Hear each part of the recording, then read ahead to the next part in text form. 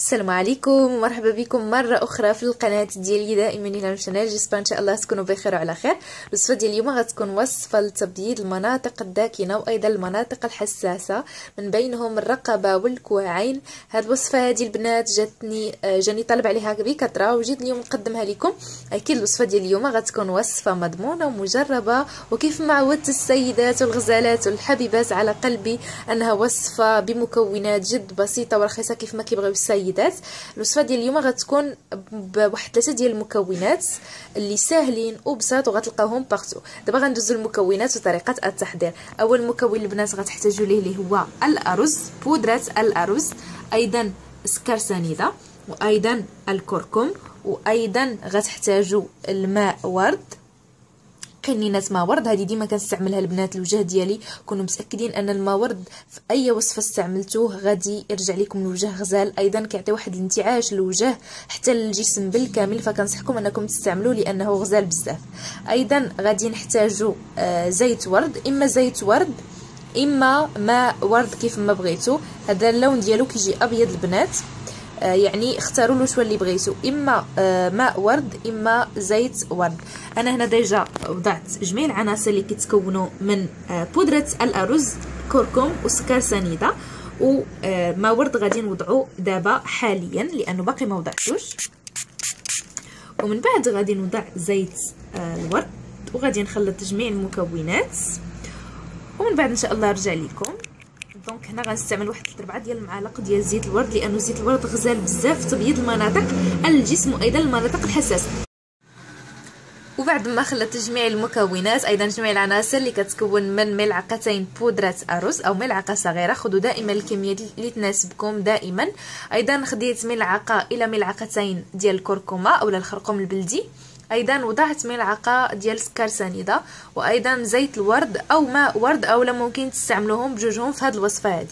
وطبقت الخليط على كامل اليدين ديالي كيف ما كتشاهدوا في الفيديو. أنتم غتطبقوهم على المناطق اللي فيها سواد أي الرقبة المناطق الحساسة بصفة عامة وأيضا غتعملوهم على الكوعين اللي كيكون فيهم دائما السواد ودائما كيتشكاو البنات أو السيدات من هذا المشكل هذا. هاد الوصفة البنات غزالة غزالة بزاف كيبان النتيجة أولا الاستعمال ديالها كيبان من أول استعمال. يعني من أول استعمال كتبان النتيجة البنات كونوا متأكدين. كتعطي واحد البياض غزال بزاف ورائع غير هو كتبغي المداومة شوية. يعني إلا قطعتوها كيرجع آه، السواد كيف ما هو. فدائما خاص المداومة كومسا يمشي لكم السواد بصفة نهائية. في اي وصفة أكيد ماشي غير في هذه الوصفة. في اي وصفة طبيعية لأنها 100% آه، طبيعية وما كتكونش يعني بمواد كيماوية اللي آه، من شأنها أنها تضركم بالبشرة ديالكم وأيضا بالمناطق الحساسة ديالكم. هاد الوصفة هذه غزالة البنات. ممكن أيضا استعمالها حتى على الوجه ديالكم. ما غدير لكم لا حساسية لا والو. آه سوى أنها غتصفر لكم شوية الوجه مي ماشي مشكل. من بعد كتعملوا واحد القطن فيه ما ورد وتمسحوا به كامل الوجه ديالكم. من بعد ما كيبقاش ديك الصفورية لأنه بزاف السيدات كيتخلعوا من هذا الموضوع هذا.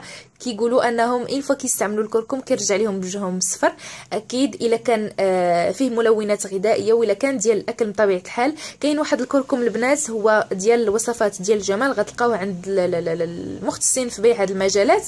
وأيضا آه، عند العطار والعشاب كاين ديال الجمال وما كيخليش آه، الوجه صفر نهائيا ولكن ممكن تستعملوا حتى ديال الأكل. كيف ما قلت لكم ما تخافوش لأن الصفورية كتكون من الملون الغذائي فقط. وكيف ما قلت لكم كتطبقوها على اليدين على الرقبة على المناطق الحساسة تخليوها واحد ربع ساعة حتى لثلث ساعة حتى لساعة كاع إلا بغيتو. الا كان عندكم وقت فارغ أكيد من بعد تمسحوا اولا تغسلوا المناطق اللي وضعتوا فيها هذه الوصفة هذه ومن وراها أكيد تستعملوا مرطب للجسم ديالكم اللي أكيد كيكونوا بنكهات مثل نكهه اللوز الأفوكادو. صراحة هاد النكهات هادو من أروع النكهات اللي كيعجبوني في ترطيب الجسم لأنه كيكونوا بواحد النكهة غزالة بزاف وأيضا نكهة الخوخ والفريز فكنصحكم بها إلا بغيتو أكيد تستعملوها. وكيف ما قلت لكم آه من وراء ما تستعملوا هذه الوصفة هذه آه الناس اللي غادي يسولوني في خانه التعليقات شحال نبقاو مداومين عليها على الأكثر على الأكثر غتستعملوها واحد خمسة المرات في الأسبوع. أكيد ممكن استعمالها يوميا إلا بغيتو حتى هي مزيانة. ونتمنى يا ربي الإعجاب ديالكم هذه الوصفة لأنه صراحة بمكونات جد جد طبيعية وما غتح... ما فيها لا ضرر لا والو للجسم ديالكم أيضا حتى الوجه ديالكم. وما تنساوش تدعموني بلايك تشتركوا في القناه أيضا ضغطوا على زر الجرس وأيضا تابعوني على موقع التواصل الاجتماعي. جميع الروابط غادي تلقاوها في صندوق الوصف. شكرا لكم على حسن المتابعة وإلى اللقاء.